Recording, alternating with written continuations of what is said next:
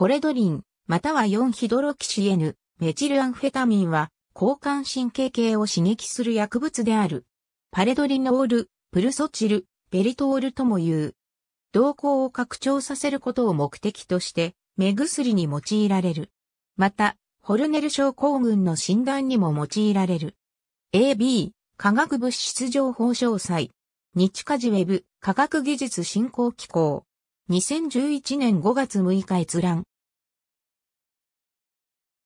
ABC ベイツ AT、チャンバレニエス、チャンピオン M、エトール、プホルドリン、A、サブスティトゥートフォーハイドロキシンフェターミンアズ、A ダイアグノスティックアイドロープ、テストインホーナー、S シンドローム、ジャーナルオブンドラジー、ンドサージョリー、アンドサイカイアトリー58、215-7、PMC107 万3320、プミド787万6854、http コロンスラッシュスラッシュ jannp.bmj.com スラッシュ cgi スラッシュ pmidlooku, e,